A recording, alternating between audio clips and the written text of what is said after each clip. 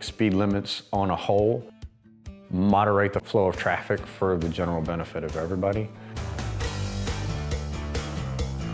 But I think it's a matter of riding beyond your limitations. And I think training and education is the limiting factor on speed limits. If you're not skilled, don't try to go that fast. You're gonna get fined, it's gonna cost you court, it's gonna make your insurance go up. Follow-on training is the best thing you can do to improve your skills, make you more aware of your situation and surroundings, make you safer, and make it safer for other people.